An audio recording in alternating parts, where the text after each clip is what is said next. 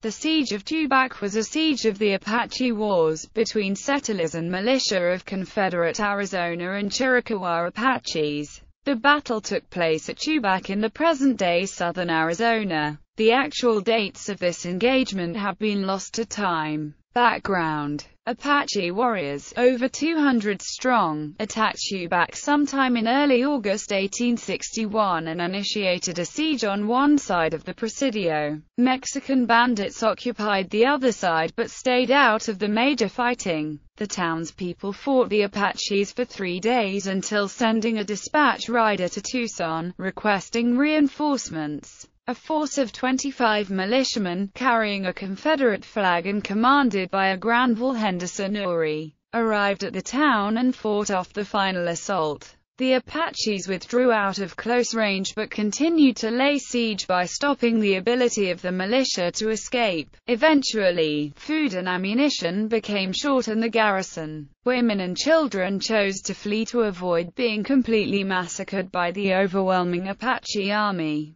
The Arizonans escaped successfully after another skirmish on the last night, leaving Tubac to be burned by the native army and plundered by the Mexican bandits. The Americans headed back to Tucson, to the north, having completed their objective of rescuing the besieged Tubacans. Aftermath the Tubacans, with their town virtually gone, left Tucson at about August 15, 1861. Their destination was the Rio Grande, east of Mesilla. Before completing their journey, the Arizonans would be attacked again by Apaches. This engagement is known as the Battle of Cooks Canyon. The battle in Cooks Canyon resulted in the Battle of the Florida Mountains. Charles D. Poston was one of the men who left Tubac as a result of the siege. Poston, a Republican, supported the creation of an Arizona territory separate from New Mexico Territory, which he discussed with President Abraham Lincoln after leaving Tubac.